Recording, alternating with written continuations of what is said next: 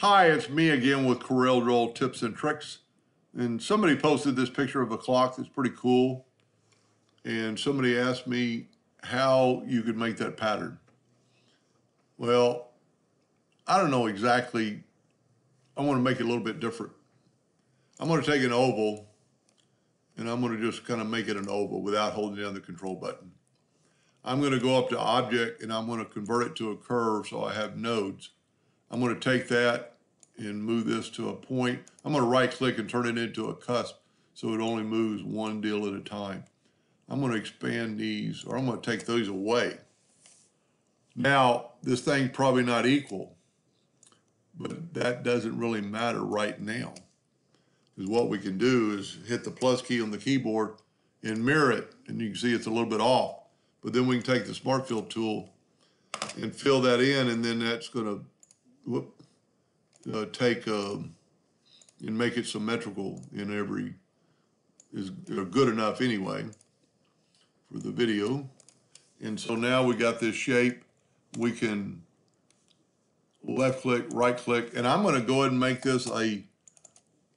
I've changed my. I'll change my points to inches because I want that line to be a quarter of an inch thick.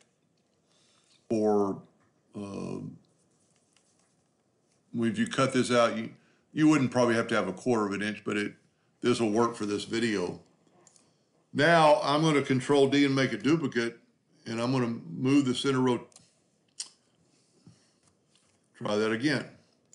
Control D, duplicate, double click on your rotation and move it to that center. I'm going to rotate it seven degrees. And then I'm going to control D. There's two, three, four. Now I'm going to take this one, control D, change our rotation to that same center spot. But at this time, I'm going to rotate it to negative seven degrees. One, two, three. Okay, whatever you get like that, you can erase that zero, minus seven. Whoop, didn't have a duplicate. Let's move it back. Control D, take that same measurement, minus seven. What's going on? Control D. Maybe I wasn't doing it correctly. Minus seven. Control D again. There we go. So we've got four on either side. I'm going to take the center one and make it red just so we can kind of see it. And for just a second, I'm going to change it back to a hairline because I think it's a little easier to uh, erase what we don't do not need in a hairline mode. So I'm going to take the virtual segment delete key. I'm going to delete everything on this side of that red line. And as long as you don't touch the red line, you're good to go. And I'm going to get that, that, that. Whoop. See, I touched the red line. Do not touch the red line. Okay, we got that. Now, let's uh, zoom in here. And let's make that line. Select it all. Make sure you got it all selected. Go up to here and make it that quarter inch.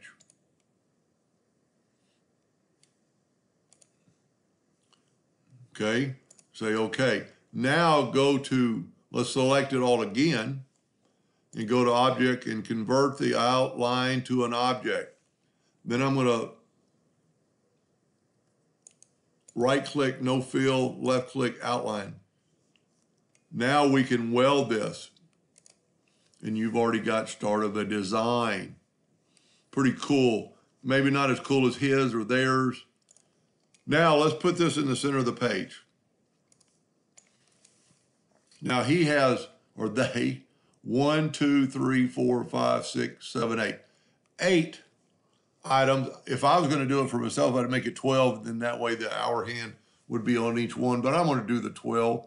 So get out a calculator and um, 360 divided by 8 is 45 degrees. I should have known that. So we're going to bring in indexing lines and hit P, bring in indexing lines and hit P, and I'm going to move this thing up. And we're going to see how it looks after we control D and make a duplicate, move the center of the rotation of the there and just always double check it to make sure it's there. And whenever you get that, it's because you're not right on the X. Now let's rotate it that 45 degrees. Ah, we're too close to, we're too down too far. So let's take the duplicate.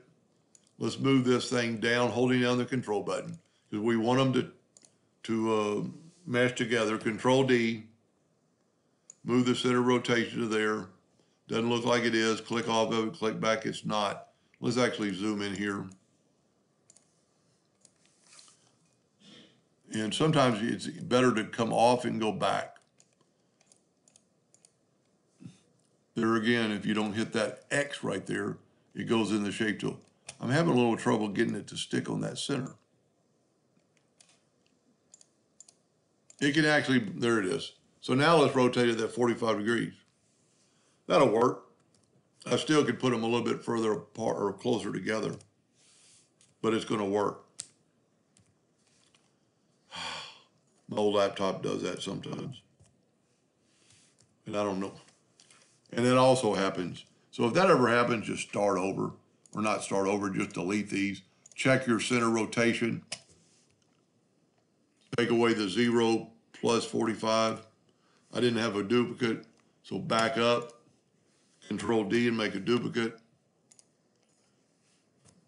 Plus 45, control D, control D, control D. Now all you have to do is take all these and weld them together. And then you could kind of look at it. And if you had 12 of these, this would be perfect. So what I'm going to do now is, is just go with this one. I'm going to select it all. I'm going to go up. I'm going to break the curve apart. And I'm going to take out this sitter stuff. Whoop. Got to go to object again. Tell you what, let's select it all again. Go to object, Nope, I just must have just hit something.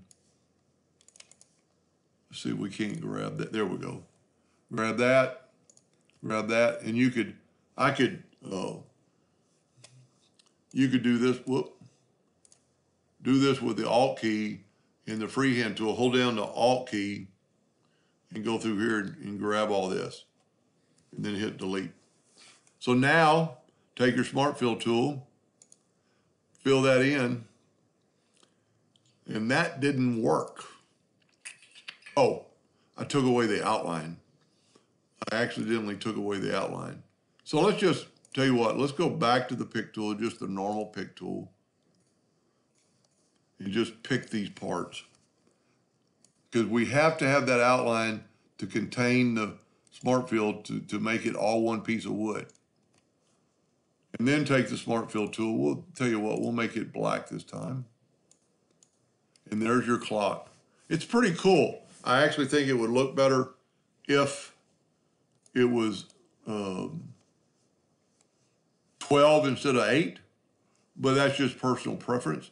And then all you'd have to do is figure out your clock movement and hit P. That's why I like drawing the center of the page. And then that way, when you use the Smart Fill tool, it'll fill that in and you'll actually have a hole. But you'd need to measure that for your clock movement. And the other things, maybe these little bitty dots probably need to be removed. Um, probably have to go to object.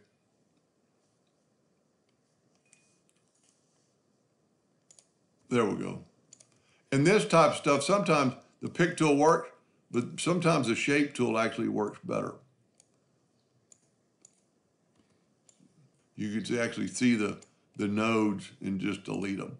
Because those pieces are so minute that they're going to just create a hole. So the pick tool works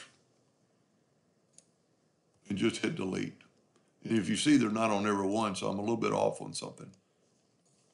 But just delete all those little bitty nodes. And if you ever grab, so we're grabbing the inside, or the outside, let's say this thing's 20 inches big, which is really too big. Let's make our nudge factors 20 and grab that and just nudge it out of the way. Now it won't cause us any problems anymore. And we can grab all those and delete them. Grab all those and delete them. As long as we don't touch one of those other parts, we're good. My screen's so dirty I can't tell if it's a part or a part. That's one way to do it. Uh, I actually like his better.